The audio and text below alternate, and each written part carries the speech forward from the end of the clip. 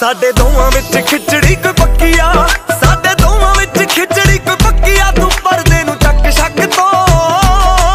ਬਾਜੀ ਮਾਰੀ ਆ ਕੁੜੀ ਦਾ ਚਤਰਾ ਜੀ ਆਵੇ ਤੇਰੇ ਨਾਲ।